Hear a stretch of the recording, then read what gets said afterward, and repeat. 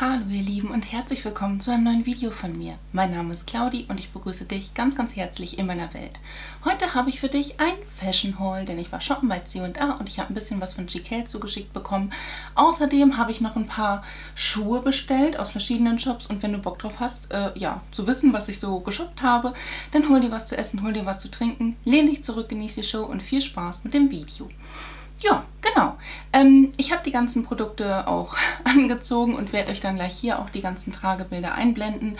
Und ich würde sagen, wir starten mit dem Shoppen bei C&A. Als erstes habe ich mir eine neue Capri-Hose bestellt. Die ist jetzt aber in so einem mega geilen Ton. Also diese Farbe ist echt der Hammer. Ich mag die Qualität, die ist ein ganz kleines bisschen durchsichtig. Da musste ich ein bisschen mit aufpassen. Ähm, das heißt, wenn ich da ein, eine schwarze Unterbüchse drunter ziehe, wird das nicht so gut aussehen. Ne? Aber sie sitzt klasse, die ist super hochwertig und mir, gestehen, mir gestehen, mir stehen einfach auch diese Hosen von C&A, weil die einfach einen angenehmen Schnitt für mich haben. Diesen wunderschönen weißen BH habe ich mir auch bei C&A bestellt. Den werdet ihr jetzt natürlich nicht äh, blanko getragen sehen, aber ich trage ihn gleich drunter. Das ist quasi ein Push-Up, ja, also der hat hier schon eine ordentliche Polsterung drin und der ist halt weiß und er passt echt gut und ja, ich finde den einfach schön von seinen Details her. Das ist schlicht, aber nicht zu schlicht, ein bisschen verspielt. Und ähm, er sitzt gut, das ist auch einer mit Bügeln. Gleich habe ich auch welche ohne Bügel. Der hat hier an der Seite so einen Meshstoff. Ne? Also das macht das ganze Hupsala noch ein bisschen atmungsaktiver. Und die Seiten hier sind auch wirklich dehnbar. Das ist sehr, sehr angenehm, den zu tragen. Diese drei Tops, das sind einfach so ganz klassische Tops, äh, gab es im Dreierpack und deswegen habe ich mir die auch in drei Farben dann entsprechend bestellt, weil das war halt ein Dreierpack. Ne? Ich habe euch auch zwei verschiedene Farben angezogen gezeigt. Das ist halt wirklich ein ganz klassisches Top, da ist nichts Wildes dran und ähm, ja, das ist halt einmal hier in grün, in weiß und in so einem etwas verwaschenen Mintgrün würde ich den Ton einfach mal nennen.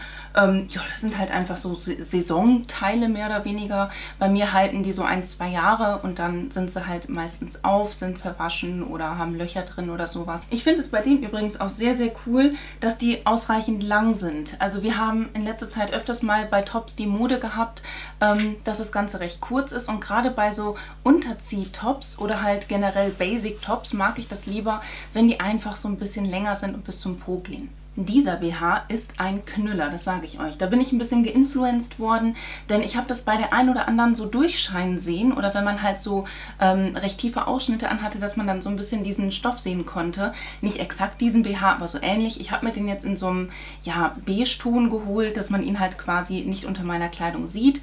Ähm, ja, und der hat halt hier so relativ tief ausgeschnittene Cups und dann hier diesen Spitzenstoff. Und das finde ich eigentlich gar nicht so schlimm, wenn man das sieht. Ich habe ihn jetzt als T-Shirt-BH getragen und was dieser BH auch so ein Stück weit verhindert ist, das habe ich öfters mal bei BHs, dass dieses Cup-Gedönsen so nach vorne oder nach hinten klappt und das so komisch aussieht. Dadurch, dass man halt diesen Stoff hat, der sich dann natürlich beim Anziehen auch spannt, hat man das Ganze echt schön. Also für mich der perfekte T-Shirt-BH. Das Einzige, was ich hier so ein bisschen monieren muss, ist äh, hinten bei diesen Seitenviechern oder Rückenviecher, wie auch immer man das nennen mag, das ist nicht wirklich flexibel. Und ähm, ja, also das hat halt keine großen Nähte, also nur so ein ganz kleines bisschen, sodass es halt nicht wirklich einschneiden wird. Aber mh, mm, ja, es ist halt nicht, nicht, nicht wirklich dehnbar. Ne? Also wenn ich das nehme und versuche zu ziehen. Es ist nur so schwer möglich und ein ganz kleines bisschen. Vielleicht wird das flexibler, wenn ich den ein paar Mal öfter trage, aber so ist es noch relativ starr. Und naja, da muss man halt hinten einfach ein bisschen weiter stellen, damit es bequem sitzt. Aber er passt sehr, sehr gut. Auch dieser BH hat Bügel und keine wirkliche Polsterung. Also nur so Anti-Nippelfilter würde ich es einfach mal nennen. Über diesen BH drüber habe ich mir dieses T-Shirt gezogen. Das ist äh, auch von C&A und aus dem Zweier-Set. Das haben wir einmal in einem ganz ja, äh, langweiligen Mintgrünton und einmal, Mensch, mit so einem, ja, äh, mh, ja, Muster mit Blumis, würde ich mal so sagen. Ähm, ist von der C&A Basic Reihe. Mir gefällt dieser Rundhalsausschnitt, das finde ich sehr hübsch. Mir gefällt einfach die Länge auch von dem Produkt. Also ne, das Produkt an sich gefällt mir halt auch einfach. Die Farbe gefällt mir. Da war ich sehr, sehr froh, dass ich das ergattern konnte im Sale. Und äh, ja, genau, vor allem im Doppelpack. Ne? Dieser BH ist wirklich schön, aber auch ein bisschen schwierig. Denn ähm, man sieht ihn gegebenenfalls unter dem ein oder anderen Top, was ein bisschen rundhalsiger ausgeschnitten ist. Das werden wir gleich auch sehen. Der hat aber mega geile Träger. Also das mag ich so gerne. Das ist kein BH, der halt quasi hier einschneiden wird. Ne? Das habe ich öfters mal bei BHs. Das tut der gar nicht.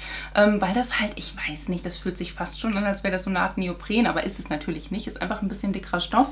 Ist jetzt auch nicht die heißeste Farbe des Planeten Favoriten, aber auch das ist für mich eher ein Drunterzieh-BH, wobei er dafür ein zu dunkel für mich persönlich ist. Ne? Das heißt, ein bisschen sieht man den auch unter einem weißen Top drunter.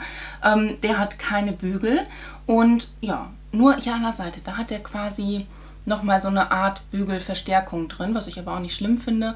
Ähm, ja, ne, wäre das jetzt in einer anderen Farbe, wäre das ein heißes Teil. Hier hast du nämlich ein bisschen Spitze mit dabei, die jetzt so natürlich äh, nicht unbedingt super sexy aussieht. Aber es ist ein bequemer BH, auch dass wir das hier so in der Mitte haben, macht so einen ganz leichten Push-Up-Effekt, weil Push-Up passt hier nicht wirklich drin. Auch hier hast du so eine Anti-Nippel-Barriere und er sitzt einfach total angenehm. Dieses Top habe ich da drüber angezogen und man wird es auch gleich sehen, weil dieses Top halt sehr rundhalsig ausgeschnitten ist. Sieht man gleich auch so ein bisschen den BH durchscheinen, aber das ist auch ein ganz schönes, basic, tolles Top. Ich mag die einfach. Ähm, ja, hat hier so Muschelmuster drauf, ne? das finde ich ganz niedlich und es ist schön lang, es sitzt angenehm, es ist ein schöner Stoff, trägt sich toll, mag ich gerne leiden. So viel zu C und A. Jetzt kommen wir zu den heißen Teilen, die ich mir bei Chiquelle aussuchen durfte. Und Chiquelle ist ein schwedischer Online-Shop, ähm, der mit mir zusammen kooperiert. Da kann ich mir immer mal wieder Produkte aussuchen. Ich habe die Lieferfrequenz etwas reduziert, weil es doch etwas viel wurde. Ähm, das heißt, dass ich dann äh, nicht jeden Monat mir irgendwie was zuschicken lasse, sondern dann halt sage, komm, ne, wir warten jetzt irgendwie mal zwei, drei Monate.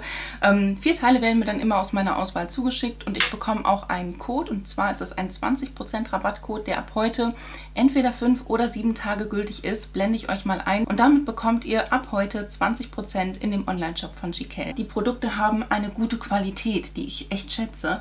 Ähm, ansonsten ne, würde ich das nicht so lange schon machen. Ich mache das schon über weiß ich nicht, anderthalb Jahre oder so, dass ich mit der Firma zusammenarbeite. Hier habe ich ein äh, mega cooles quasi Wickel-T-Shirt, ne, das so ein bisschen cropped geschnitten ist, hat so ein ähm, wie ist das hier, geriffeltes, so eine Ripped Optik, so nennt sich das, ne? Und wir haben hier sehr, sehr lange Wickelteile. Und ihr habt es ja auch eben eingeblendet gesehen, das sitzt schön, ich mag das echt gerne an mir, da ist ein Haar noch dran von mir und ähm, ja, ne, das kann man entweder solo tragen, also dass man es wirklich bauchfrei trägt, wenn man fancy drauf ist, oder man sagt, nee komm, ich habe eher Bock da irgendwie ein Kleid runter anzuziehen, auch das kann man machen. Wenn zum Beispiel jetzt ein bisschen frischer wird, dann kann man noch seine äh, Spaghetti-Träger Sommerkleidchen drunter tragen und dann einfach dieses Cropped Wickel T-Shirt drüber, denn es sieht durchaus schöner aus und eleganter, wenn du so ein Cropped Ding da drüber ziehst, als dass du dir ein äh, popolanges oder noch längeres Oberteil drüber ziehst. Ne? Dann sieht das Ganze noch eleganter aus. Dieses Top finde ich so schön. Das ist so ein richtiger Pinkton. Ja gut, jetzt in Kombi mit dieser lachsfarbenen, aprikotfarbenen Hose war das ein bisschen fancy. Ja, ich verstecke mich gerade hinter dem Top. Ich finde das total toll. Das hat diese... Ähm, ja, äh, geriffelte Geschichte auch wieder drin und das betont so ein bisschen die Hupis, muss ich gestehen, das mag ich sehr gerne leiden. Ähm, hat recht breite Träger, wo man aber auch wieder aufpassen muss, dass man äh, den passenden BH dazu anzieht, damit er nicht durchblitzt oder wenn man Bock drauf hat, dass der BH wirklich durchblitzt, dann hau raus Krokette. Ähm, auch das ist ein bisschen kürzer geschnitten, aber äh, ja, da ist so wenig baufrei unterwegs, ne, sodass ich das dann auch wirklich so ein bisschen leicht baufrei tragen würde und ich mag es sehr gerne. Ich finde das vom Stoff ganz toll, das ist ein bisschen dicker. Das ist halt nicht so richtig klassisch Hochsommer, sondern geht schon Richtung äh, Frühherbst, Spätsommer, also genau passend jetzt in dieser Zeit. Und ich mag es sehr, sehr gerne leiden. Ist mal ein ganz anderer Schnitt. Von den vier Teilen, die ich mir aussuchen durfte, ist dieses hier leider das Teil, was ich am wenigsten schön finde. Ähm, ich habe das auch als Kleid, aber in schwarz. Und das hier ist mir tatsächlich ein Hauch zu durchsichtig. Ich musste auch einen sehr speziellen BH darunter tragen, damit man ihn nicht sieht, weil der Ausschnitt schon sehr exzessiv ist. Ich verlinke euch auch mal den BH, den ich darunter trage. Das ist so ein äh, trägerloses Vieh und da kannst du halt kein BH drunter anziehen, ne? weil auch wenn du dir die BH-Träger hier reinschiebst oder so, hier ist es einfach noch so tief ausgeschnitten, dass er durchblitzen würde. Der Ausschnitt an sich ist so herzförmig, aber auch wieder sehr, sehr tief. Es ist cropped geschnitten und das ist definitiv ein Top oder ein, ein Oberteil, was ich über so ein Sommerkleid tragen würde. Das würde ich eher weniger solo tragen, würde ich mich zu aufreizend angezogen fühlen, muss ich gestehen. Weil ich, ähm, ja, irgendwie, weiß ich nicht, das ist mir alles zu viel hier, hier, äh, hier oben dann. Dann habe ich nämlich hier so viel Ausschnitt, dann den äh, unten auch noch so offen. Nee, nee, das mag ich dann nicht so gerne. Aber das über ein Kleid gezogen, habe ich jetzt im Video einen Spieler leider nicht gemacht. Finde ich wunderschön. Genau, also die Qualität ist hier so lala. Die ist nicht so gut wie von dem ähm, anderen weißen äh, Wickelteil, was ich euch gezeigt habe, ne? weil es halt relativ durchsichtig ist und hier auch ein paar Fäden minimal lose sind. Also es geht tatsächlich noch. Aber wie gesagt, das würde ich tatsächlich als Drüberzieh-Shirt sehen und verwenden. Kommen wir zu dem kuscheligsten Part aus meinem Chiquelle Haul und zwar ist es dieser mega geile Pullover. Ciao, ich bin da mal weg. Also der ist super weich und angenehm von innen, weil der hat halt, das macht Chiquelle halt einfach klasse, ähm, dieses oh, flauschi von innen. Das muss noch ein bisschen in der Wäsche ne, und sich abflauschen, weil das schwarze Top, was ich unter diesem Pulli drunter hatte, hat auch sehr viel Flusen abbekommen. Ähm, ich finde den Ausschnitt auch ein bisschen zu hoch tatsächlich. Also er könnte für meinen Wunsch etwas tiefer sein, äh, weil meine Rübe einfach so riesig ist. Ne? Aber an und für sich mag ich den sehr gerne. Ich mag es, dass die Arme auch so schön lang sind, weil die passen bei mir perfekt. Ich mag es, ähm, dass der Pulli an sich auch relativ lang ist. Und ja, das wird mein Chill-Pulli für den Spätsommer werden. Diese vier Teile und noch viel, viel mehr gibt es bei Chiquelle. Schaut auf jeden Fall dort mal vorbei. Ich habe euch die Teile und auch alles andere dazu unten in der Infobox verlinkt. Jetzt kommen wir zu den Schuhen. Auch die habe ich euch mal im Try-On gezeigt. Ich habe mir extra eben noch den äh, Fußnägel dafür lackieren dürfen. Denn die waren eine ganze Zeit lang ohne Nagellack unterwegs. Ähm, jo, ich fange einfach mal an mit diesen Birkenstock-Dingern. Ich wurde angefixt von Miss Curly Jen. Die hat nämlich einen Birkenstock-Haul hochgeladen und da muss ich äh, nachshoppen. Ne? Also das sind diese Teile, die habe ich von Amazon tatsächlich bestellt. Die sind mit so Rose Gold hier drauf, finde ich ultra schön. Mag ich richtig, richtig gerne leiden. Das sind tolle Sommertreter oder jetzt halt auch für den Spätsommer, Sommer, wenn ich zu Hause bin, finde ich die klasse. Als nächstes habe ich etwas geschlossenere Schuhe und zwar sind das welche von Mustang. Die habe ich jetzt aber auch schon echt häufig getragen. Die ziehe ich zum Rock an, die ziehe ich zu... Äh, zu einer Hose an, zu allem möglichen, aber nicht zum Spazierengehen mit Sammy, weil dafür sind sie mir einfach zu schade. Ich finde die total schick. Das ist ein toller Stoff.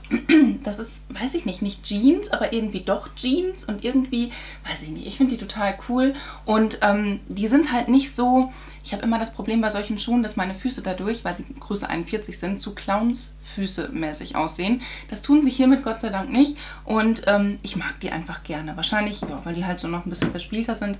Ich habe da äh, innen drin immer so eine Sohle, dass ich da halt auch theoretisch barfuß drin laufen könnte oder halt nur mit so Söckchen oder so, ne. Die sind von innen kariert, was ich total witzig finde. Sieht natürlich kein Mensch, aber sie sind von innen kariert. Herzlichen Glückwunsch. Ähm, dann habe ich mir etwas schickere Schuhe bestellt und ähm, ja, da habe ich super viele Rezensionen mit durchgelesen, weil ich bin auf der Suche gewesen nach bequemen Sandalen mit Absatz gar nicht so leicht. Ich, mein Freund mag sie jetzt nicht so gerne vom Design her. Er sagt halt, naja, es sind halt eher so Oma-Treter. Die sind von Gabor. Ne? Das sind halt wirklich, ja, eher welche, die so in Bereich Gesundheit reinfallen, um das mal so zu sagen. Aber die sind auch scheiße bequem, ey. Ich habe die noch nicht draußen getragen, bislang nur im Haus. Und äh, boah, du gehst wie auf Wolken mit diesem Schuh. Weil, also, ich weiß nicht, sieht man das? Wenn ich da so reindrücke. Das ist so weich und angenehm. Ich merke einfach richtig schön, wie man da ein Fußbett drin hat. Hat natürlich, ja, wir haben hier ein bisschen Silber mit dabei und so. Aber das fand ich halt auch irgendwie schön, weil ich oft Silberschmuck trage. Dass es halt zum Schmuck halt auch irgendwo passt, ne? Dann finde ich auch dieses Bastmuster ganz cool, was sich einfach hier in der Sohle so fortführt. Und ja, die sind geil. Da habe ich also mich mega drüber gefreut, als ich die, als die hier einge, angekommen sind, ich die angezogen habe und ich die ersten Schritte damit gelaufen bin. Ich habe echt, boah, geil, geil, damit kann ich auch safe, wenn ich mal irgendwo eingeladen bin auf eine Hochzeit oder so, da kann ich auch einen ganzen Abend mit durchtanzen, weil die so bequem sind.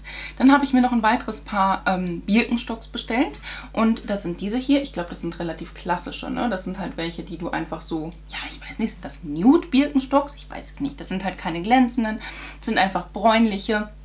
Das sind halt auch diese Zehentrenner und die finde ich ehrlich gesagt bequem. Also ich habe bei den anderen Zehentrennern genau das gleiche äh, Ding. Ne?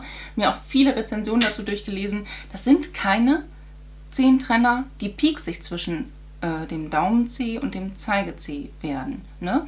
Also das ist echt geil, finde ich total klasse und äh, ja, ne? auch wieder super bequem, super Fußbett, läuft. Und als letztes Produkt, was ich euch heute zeige und das letzte Paar Schuhe, was ich mir bestellt habe, habe ich hier einmal diese wunderschönen Ballerina-Schüchen, denn ich wollte mir auch mal wieder Ballerinas holen. Ähm, die sind von der Marke äh, M-Podium. Sagt mir so nichts. Die Rezensionen dazu waren halt sehr positiv und ich wollte halt Ballerinas haben, weil ich natürlich auch mal ab und zu flache Schuhe haben möchte oder wenn man mal irgendwo auf einer Feier ist, dass man die halt erst anhat und wenn man wirklich nicht mehr drauf laufen kann, was ich nicht glaube, weil die so bequem sind, sich dann Ballerinas einfach anzieht. Auch die sind silber, ne? die glänzen, die sehen halt einfach ein bisschen schicker aus.